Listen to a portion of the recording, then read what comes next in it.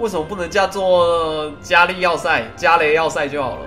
讲这么多字，拜。嗯，你们几个也要小心出发吧。艾瑞特·马基亚斯加油了。克洛学长不，克洛你也是。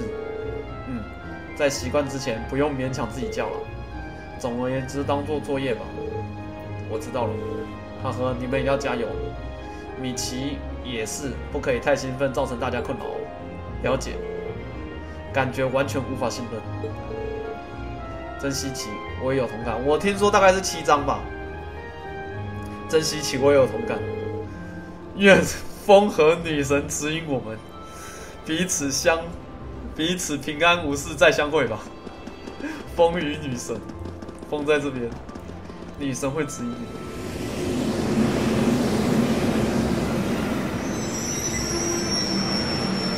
到了，他们车走，他们比较远，我们比较近，他们要到最西边去，很辛苦。那么，很快我们的车就要来了。去买前往雷格拉姆，为什么要这么多字？不能前往雷格就好了吗？不然叫格雷，好不好？好了，算了啦，雷格的票吧。好了，买票了。早安，这次 A 组的目的地是雷格对吧？对，没错，雷格拉姆对。想要购买经由巴利的车票，巴利亚哈特的车票。嗯，我知道了，现在立刻购买吗？立刻购买啊，不然要等什么？六张是不是？是的，请稍等一下。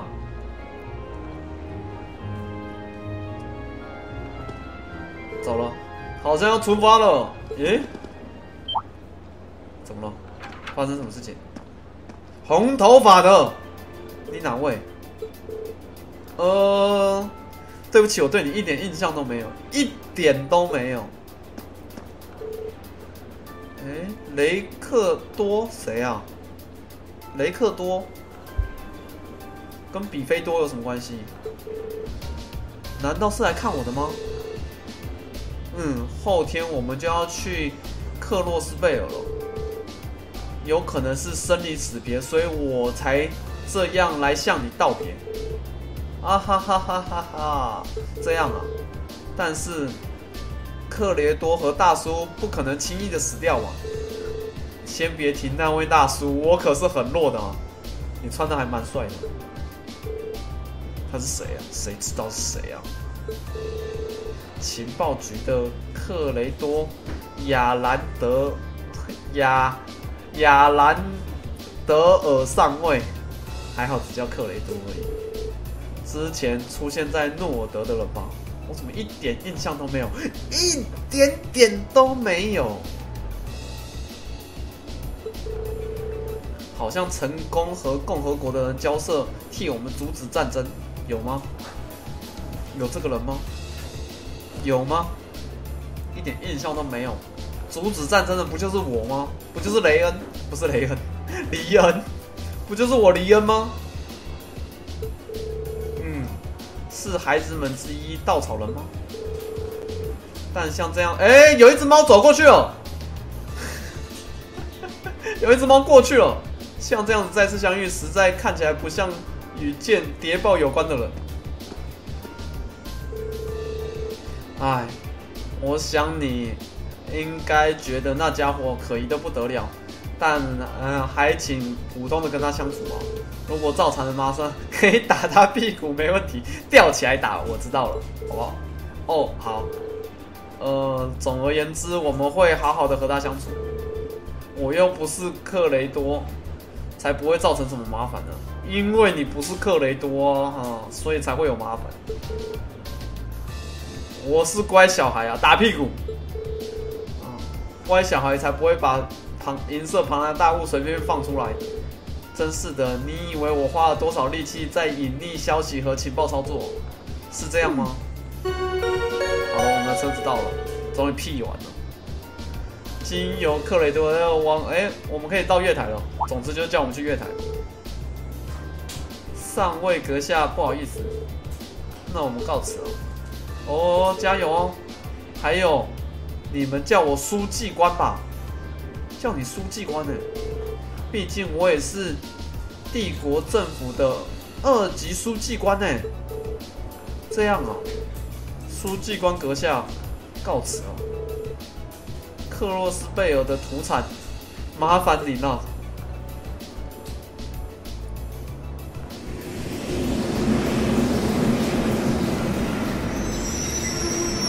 他的那个地名啊，人名太多了，很，也不知道为什么要这么多，而且还漏漏等。以后可不可以都简简化成两个字就好了？两个字、三个字也还可以。你不觉得五六个字难念的要死？四五个字、五六个字。好了，我们车开了，不要再抱怨。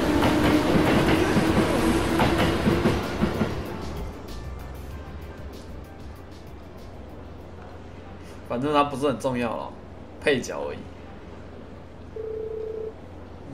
呵呵，好像是比我听到的还要更有趣的班级啊！这一代要念要记的人名，你看班上的人已经这么多了，我能把班上的人都记住，已经我觉得已经很了不起了，还要再记一大堆配角，莫名其妙哦！人是不是太多了？能操纵的就十几个，哎，像我这那时候一样享受就再好不过了。铁血之子，感情真的不错。沙拉出来了！哎呀，被可怕的大姐姐发现了。那么我就在此告别了。等一下，是不是有什么东西要交给我吗？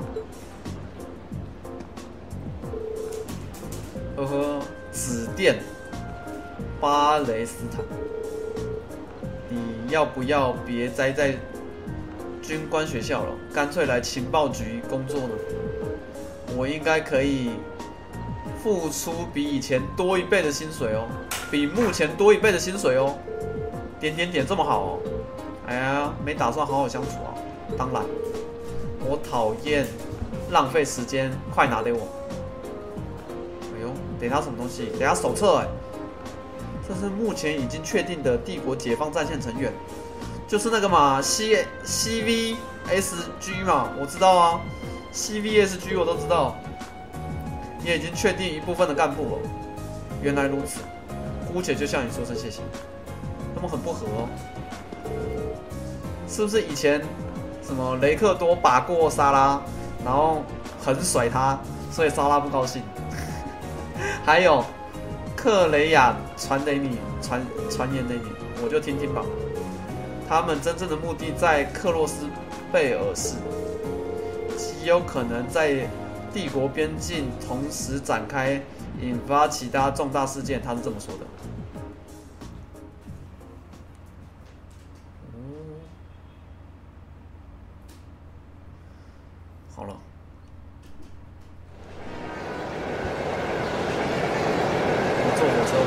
来到偏远的乡下角落。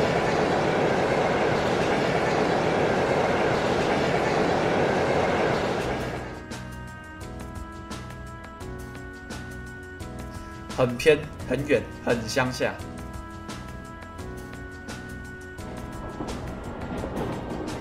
火车开啊开，你看地上这么多地名，超级多。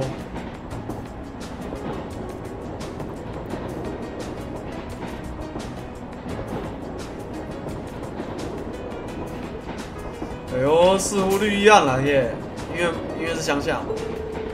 No no，尤其是明明是麦子，为什么是绿色的？因为还没成熟啊，稻子还没成熟也是绿色的啊。在克鲁琴中栽种的小麦、大麦和黑麦，会依据季节轮作这些作物。现在正好轮到秋收的小麦刚要结穗的时候，好像有很奇怪的稻草人诶。尤西斯好像大哥哥哦。